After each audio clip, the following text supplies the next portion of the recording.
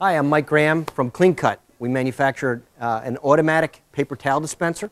So what we're doing here is we're breaking an infrared beam on the front of the unit. So this unit would typically be mounted right in your kitchen, in a residential kitchen, right next to the sink. And so if I'm washing my hands at the sink, I'm going to break an infrared beam here, and I'm going to cut, and we're going to take a piece of paper towel. Now, we don't care where the perforation is. We take as much as we need, not what we, we want.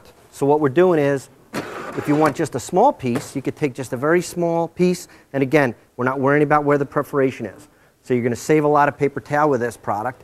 Uh, again, it's very fast. If your hands are covered with chicken, dispense, cut, and you take and you're not dirtying anything. To load the paper, you just undo a latch right here, push it down, and this unit takes any roll of paper towel, any uh, brand that you buy at the, at the local grocery store. Jumbo rolls fit into the unit um, and even very heavy shop towels. And a shop towel is, is much thicker than a, than a standard paper towel. You just take it, you drop it in on this dowel, you take the end of the paper, you tuck it in very easily, uh, snap the door shut, and you're dispensing and cutting again. On this particular unit, this is a stainless steel and silver.